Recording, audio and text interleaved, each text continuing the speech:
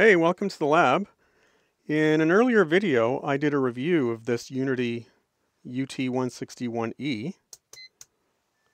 And I've had some requests, at least one request, for a teardown. So that's what we're going to be doing today. I'm going to be doing a teardown of this unit.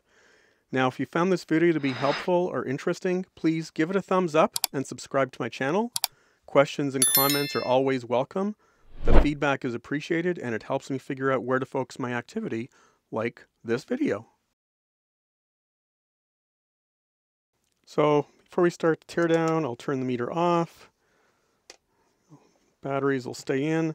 Now, this looks like it has an overmolded case, but uh, in fact, you can see the seam that goes around the case here. So this is not sort of a, a, a removable overmold. This is kind of permanently attached.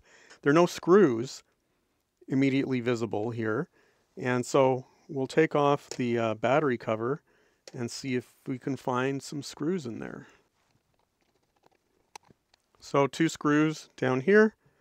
So we'll take those two screws out, see what happens.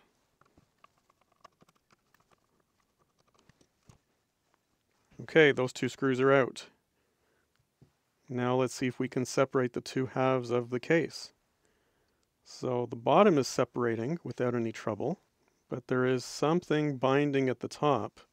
So I need to do a little more exploring. Maybe there's some screws underneath the fuses or the battery box. I've taken the batteries out and you can see that there's a pair of screws there, so I'll remove those next. Well, that seems to have done the trick for the most part. Okay, so it just comes apart after taking those two screws out. And we can see that uh, Uni-T, well, Uni-T is a manufacturer of these units. So this is a very neat unit inside.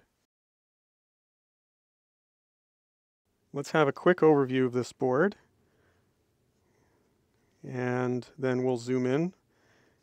What, what can we see here right off the bat? We've got some MOVs here, a whole bunch of PTCs here, current shunt, the jacks, sockets for the jacks, that is.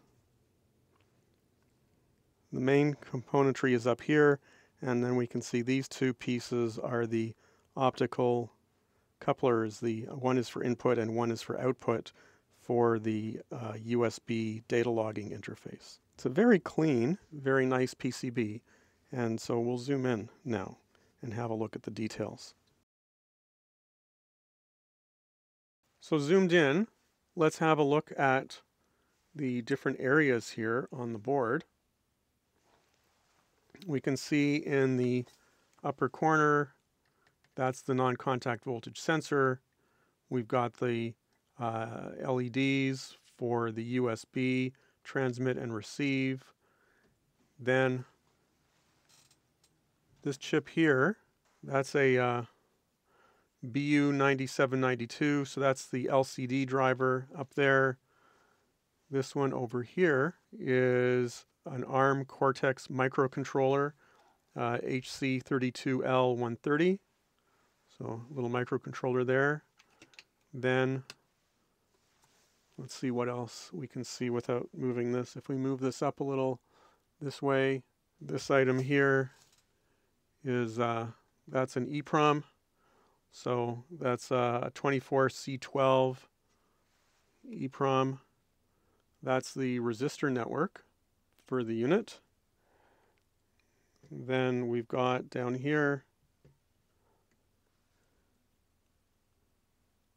we've got some MOVs and some PTCs that are used to protect against surges. You can see the fuses there and then the, uh, the input jack sockets.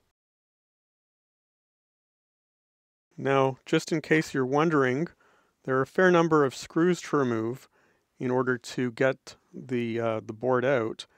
And of special interest, there are screws on the base of the input jacks here that have to be removed as well because of the new jack design that they've used here. This fastens the uh, the circuit board to the jacks. So those screws have to come out. And then there are a variety of little screws uh, all around. And of course, once all the screws are out, it just lifts out without too much trouble. So looking at the other side of the board, we can see the contacts for the rotary switch.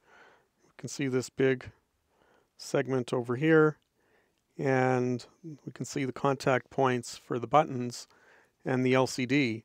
Now the LCD does happen to be soldered in place uh, with this connection here. And even though the contact strips at the sides could be pried off, there is uh, a sort of another significant chip underneath the LCD panel, but I don't feel like disassembling that far in order to figure out what that is. I apologize for that. So a little bit of a gap in the teardown there. Um, but that's about everything for this particular side of the board. Not a whole lot of interest. Like I say, they've kind of hidden one of the main chips underneath the uh, underneath the LCD there. So I've reassembled the front part of the unit. So the main board is reseated, reattached, and I hope everything still functions when I turn it back on. We can just see here, this is the back side of the unit. We can see that there's a lot of shielding uh, in this area. So, uh, you know, that will probably reduce uh, electrical noise and whatnot and, and reinforce this area of the, the case. And uh, in case you're wondering, the non-contact voltage sensor fits in in this uh, area here. And then we've got the uh, battery with the spring terminals here. And this particular spring terminal will make contact with this metal part of the case. Okay, well, if you uh, found this video to be helpful, please give it a thumbs up and subscribe to the channel. Thanks for watching, and until next time,